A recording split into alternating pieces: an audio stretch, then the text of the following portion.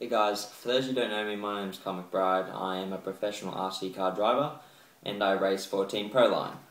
Um, I'm here to answer a couple questions for you guys today. I recently won the 2012 FEMCA Championship over in Thailand, Pattaya, where the Worlds were held uh, in 2010.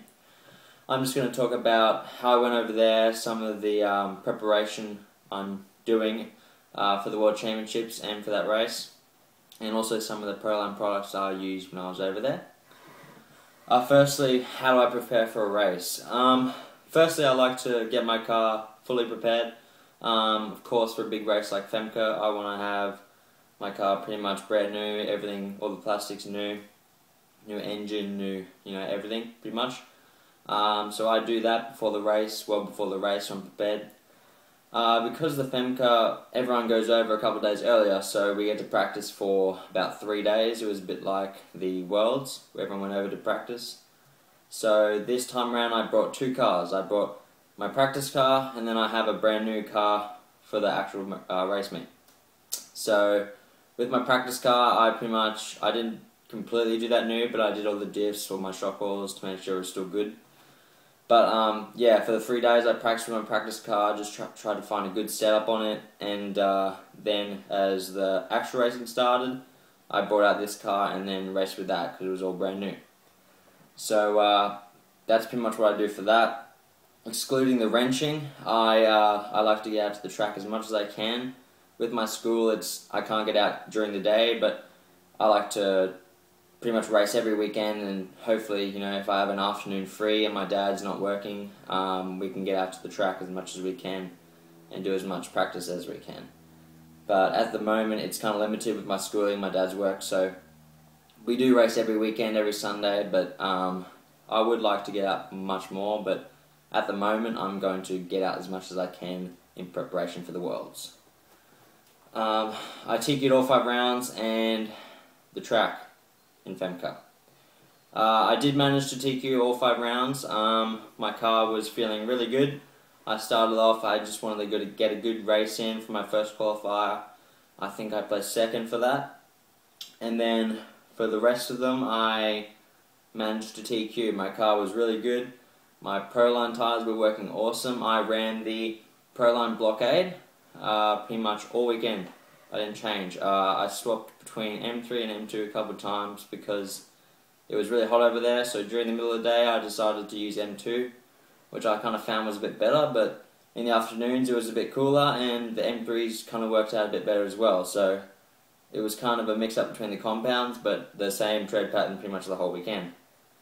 Um, the track changed a lot during the uh, the practice and the event. We when we first got there, it was it started off grippy, but the more cars ran on it, it became a bit, bit blown out, a bit rough, a bit uh, dusty.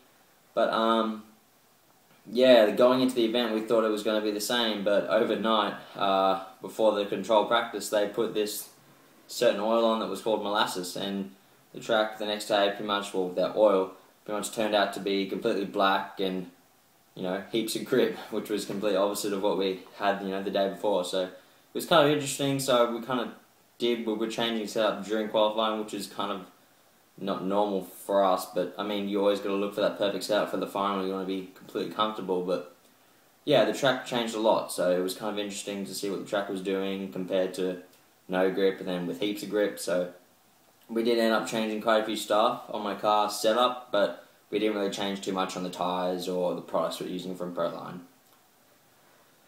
Um, now I'm going to go through all the Proline products I used. Uh, I got a couple things here. Firstly, I've got the Proline Blockade. As you can see, Proline Blockade M3 compound. Um, also mounted up with my Velocity lightweight wheels. Um, both of these things I think definitely were the best tie for the weekend. Um, they didn't definitely didn't let me down. I mean, these tyres, they were working really good all weekend. The car felt completely smooth. The tyre wear for everyone was pretty bad because the track had so much high grip. But even with these, even when I did run out of rubber, it didn't feel like my car was didn't feel like my car was um, getting out of control or anything like that. The car was really good, and the tyre wear it wasn't wasn't too bad. I mean, everyone had pretty bad tyre wear, but even when I did lose tyre weight, it felt like you know the car was still hanging on. So I think these tyres were definitely really good for the weekend. And of course the lightweight wheels, they're really awesome. I like these.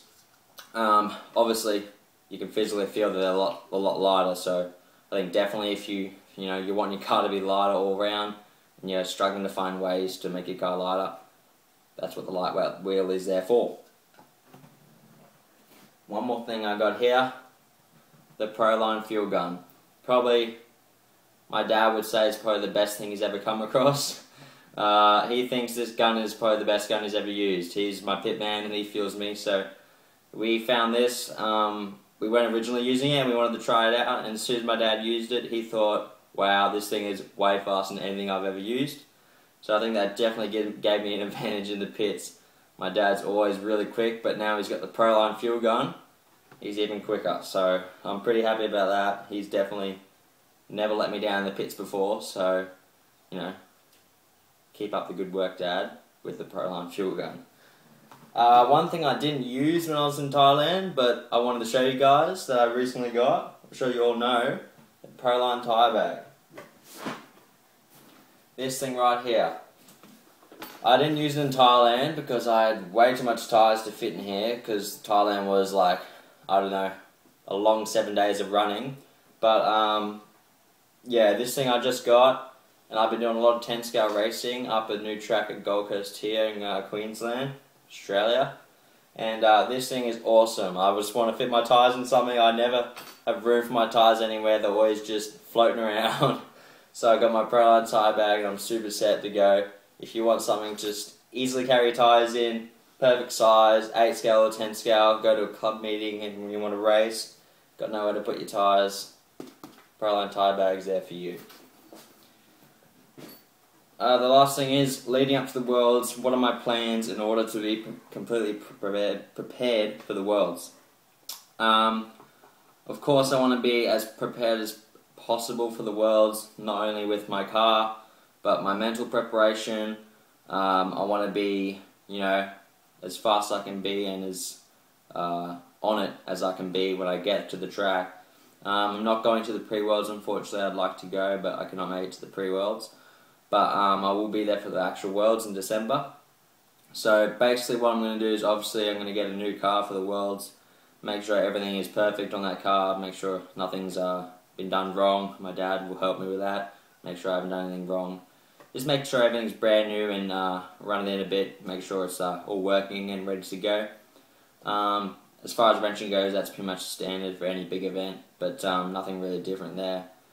But um, of course, I want to be, you know, mentally prepared. I want to try to do as much practice as I can, so I can be, you know, you know, really fast from the get go. So I'm going to try to get out of the track as much as I can for that event, before that event. Try practice at least, I mean, for me, at least twice a week because it's hard with my school, but for me, twice or three times a week would be a lot for me. So I think that'd be really good if I can get out that much before the Worlds and try get as much practice as I can and uh, get as much run time as I can with this car and these tyres and test all different tyres and things like that.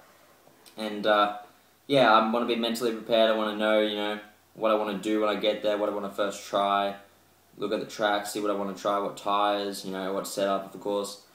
And uh, apart from that, I just want to, um, you know, I like to uh, do a couple secret things to mentally prepare myself, make sure I, uh, you know, am on it from the get-go. My brain is, uh, and reactions are all good and ready to go. So, uh, um, apart from that, I just uh, want to look, you know, look forward to being, hopefully, make the main again. I mean, that's like an ultimate goal. I want to make the main again. Um, I did in 2010. I came fourth, which is really cool. And I got different tires, different car. I'm feeling even more confident than I have before than I was two years ago. So um, if I can do that, and I think uh, I'll be all good to go for uh, the World Championships this year. And uh, wish me luck, anyways. so uh, you're here with Kyle McBride and Team Proline, and uh, look out for new products from Team Proline. I'm sure they'll be bringing out some new stuff for the World Championships definitely get the fuel gun, get your lightweight wheels and your tyres and of course your tyre bag and you'll be set to go. Thanks very much guys.